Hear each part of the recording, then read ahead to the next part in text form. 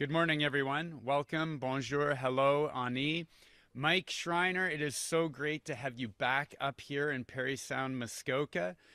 And when we consider how blessed we are and how grateful we are with surroundings like this right here in Huntsville, we, we start our day by, by acknowledging the land that we are on here in Huntsville, that this is the traditional territory of the Anishinaabe, in particular the Ojibwe, the Chippewa, and the Algonquin peoples.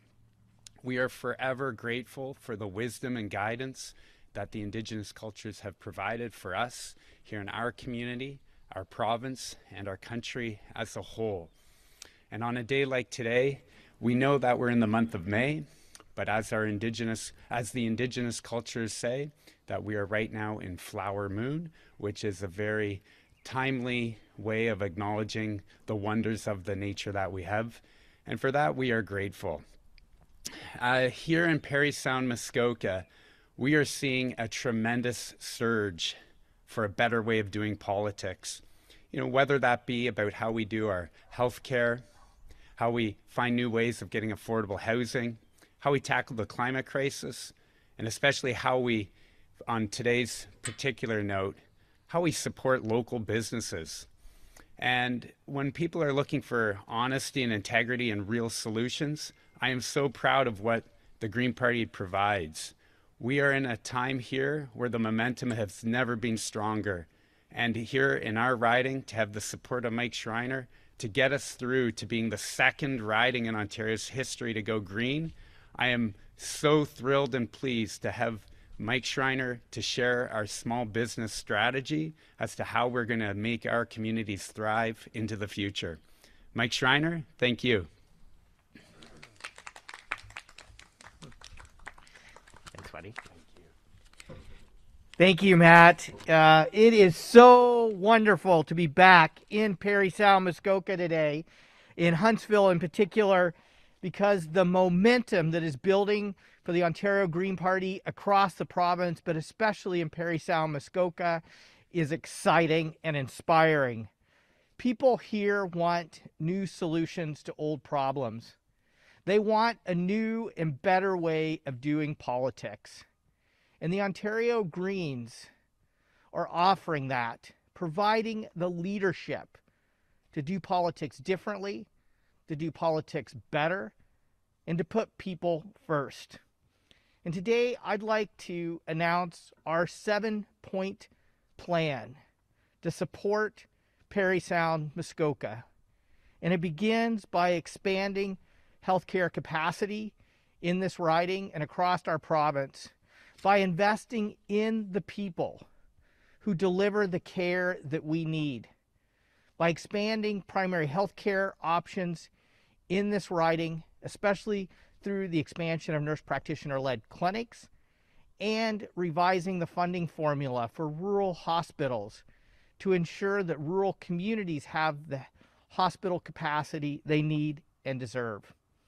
Secondly, addressing the housing affordability crisis in a way that helps first time homebuyers be on a level playing field with grants of up to $25,000 to add a secondary suite, a basement apartment, a laneway house to provide additional rental supply to address the demand for more affordable rental spaces and to create new revenue streams to help first time homebuyers be able to afford the home they love in the community they love. Third is our Main Street plan to support local businesses in this riding by bringing in a Commercial Tenancies Act to protect small businesses, by expanding the Digital Main Street program to provide fulfillment opportunities for local businesses so they can compete on a more level playing field with the big box stores and the Amazons of the world. Never again, never again shall the pro- provincial government close small businesses while leaving big box stores open. The Ontario Greens are committed to standing up and supporting the small businesses that are so vital to our local economies and the vibrancy and vitalities of our main streets and our downtowns across Parry Sound, Muskoka. Fourth, affordable transit. By cutting transit fares in half and fully funding the reinstatement of the Ontario Northlander, including a $12 million annual operating subsidy and expanding bus service between communities in this riding. We want to ensure that people who come to visit and spend money and support local businesses in Parry Sound Muskoka have train service available to them. And we want to ensure that people traveling between communities in this riding have the bus service they need to be able to do it affordably and reliably. Fifth, lowering people's utility bills by maintaining electricity subsidies for rural, remote, and low income households, and by investing in a home retrofit program to help people save money by saving energy and creating good green jobs right here in Parry Sound, Muskoka. Next, flood protection. Ensuring that we protect the nature that protects us. How many floods do we have to experience right here in Muskoka? Or how many, quote, once in a lifetime storms do we have to go through before we have a government that makes the investments in protecting the nature that protects us? And that's exactly what the Ontario Greens will do here in Parry Sound, Muskoka, because we know that the wealth, the prosperity, the jobs in this riding depend on the nature that makes us such a wonderful and beautiful place to live and to visit. And finally, a government that is committed to supporting rural education and youth mental health. The Ontario Greens are committed to revising the funding formula for public education to ensure that rural schools have the resources and supports needed, especially when it comes to serving children with special needs, ensuring that we have educational assistants, special education uh, teachers, and the supports to keep rural schools open, and to ensure that young people have access to the mental health supports they need and deserve with a fully funded, costed commitment to reducing wait times for youth mental health to less than 30 days. Right now, it is unacceptable that the average wait time for young people to access mental health services is 18 months and sometimes as long as two years, especially after the last two years of the pandemic. Our young people deserve access to the care they need when they need it in the community they live. The Ontario Greens are offering new solutions to old problems here in Parry Sound Muskoka.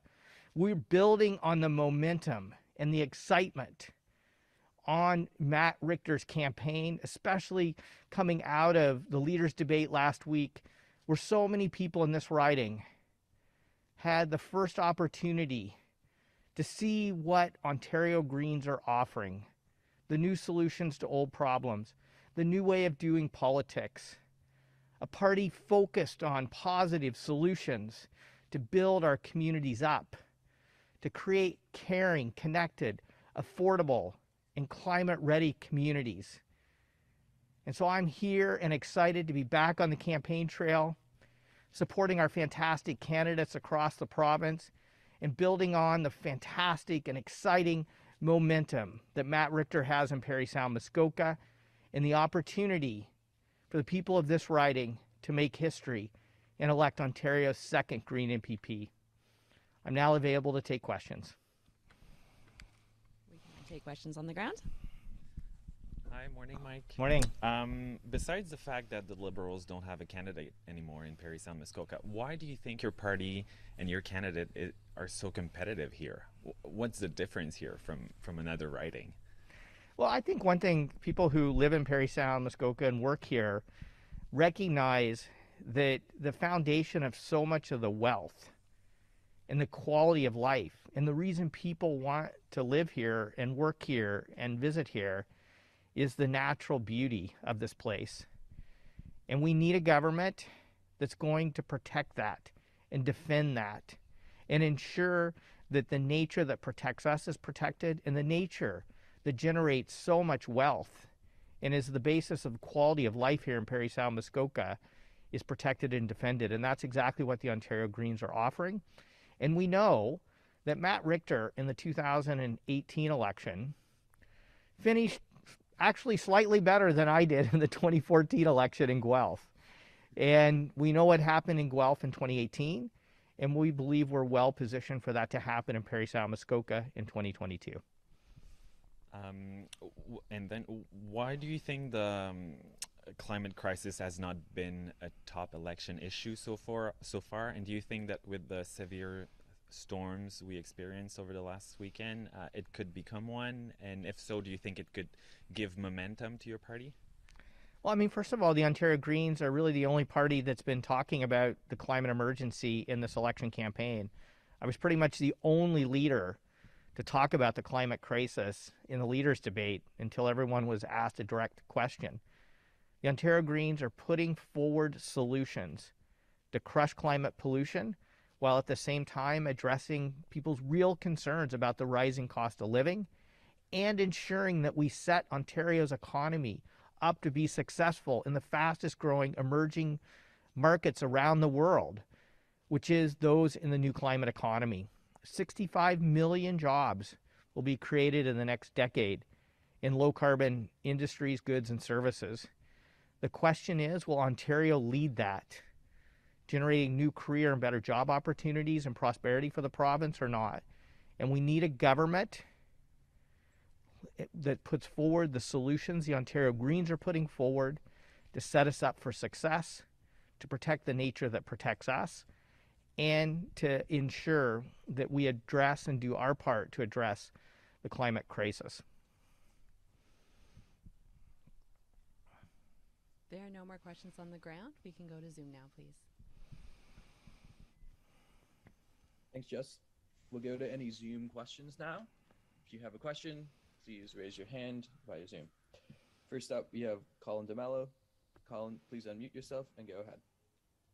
Hey, good morning, Mike. Uh, Morning, I'm Colin. wondering what you guys are seeing in terms of some of the early voter turnout numbers. I know a lot of campaigns uh, get that data from Elections Ontario. Are you seeing any kind of uptick in the early voter data, or are- you able to get some of those Green supporters in uh, Parry Sound Muskoka to the polls? Are you seeing encouraging signs? Absolutely, Colin. We're seeing encouraging signs in terms of uh, the number of Green supporters who have already voted in advance polls. We're also seeing very exciting, and encouraging signs uh, in our poll numbers. Uh, but I would say most importantly, we're seeing it in the number of volunteers who are coming out to knock on doors, put up signs, and make phone calls. Green campaigns are won through people powered change and the excitement, especially the number of volunteers coming out to support Matt Richter's campaign, has us very excited. And we're just going to continue to keep building on that momentum in the last week of this campaign. Okay, thank you. And, and you know, taking a step back, you're obviously trying to grow your party beyond the single seat. What what would it mean at large for the entire Green Party movement in, in Ontario if you were to double your seat count? Um, how, how big of a of an improvement would that be, and, and what would it actually mean to growing the party beyond this election? Well, it would be a huge opportunity to really uh, grow the green movement and to send a clear message that we need urgent climate action that addresses cost of living concerns and sets our economy up for success.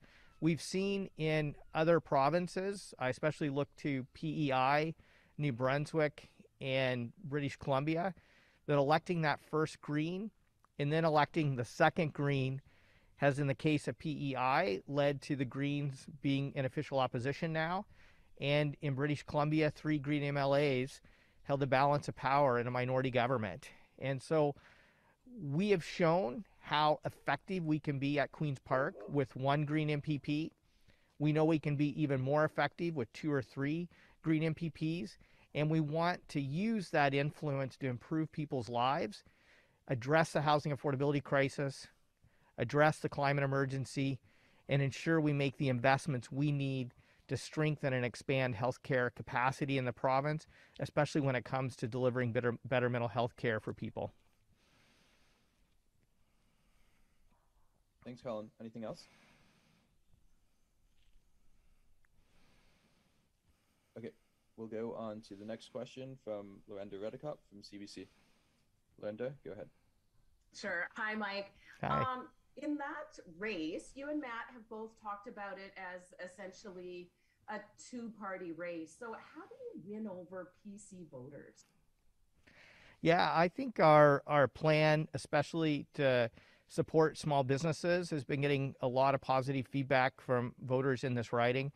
I mean, this ri- riding relies on so many small businesses, and um, they appreciate the fact that the Ontario Greens consistently throughout the pandemic was standing up for small businesses and will continue to put forward new solutions to support small businesses. You know, another one I'd add uh, to what I've already said this morning is a plan to liberate local beer, wine, and spirits to allow for the opening of boutique VQA wine stores, craft beer stores, and artisan uh, distillery outlets. Um, because we know there's so many, especially when it comes to uh, craft beer in this riding, uh, that want to succeed and create jobs and bolster the economy here.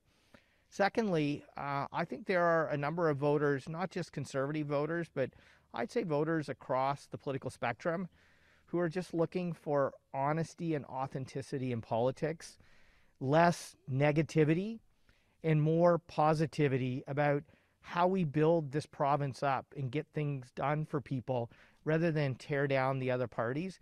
So, you know, while the other three parties, you know, throw negative ads at each other and at us, we're just putting forward new solutions to old problems and giving Ontarians an opportunity to vote for a better way of doing politics.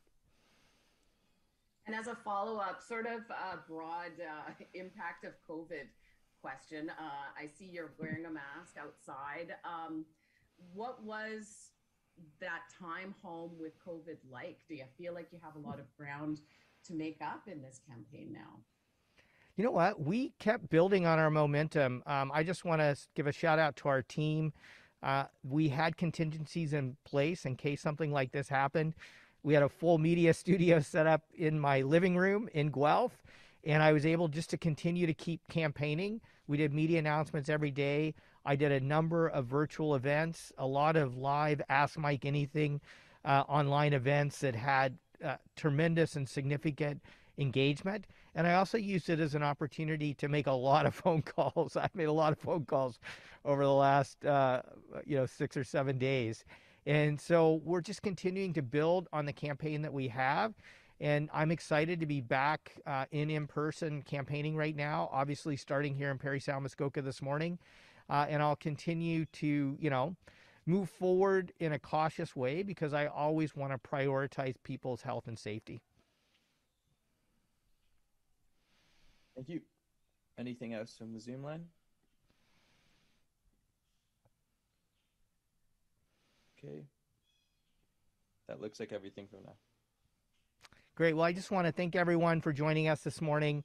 And I just want to say to the voters of Parry Sound Muskoka, you can vote for a better future for this riding and for this province and send a clear message that we can do politics better in Ontario by electing Matt Richter as your MPP for Parry Sound Muskoka. Thank you, everyone, and have a fantastic day.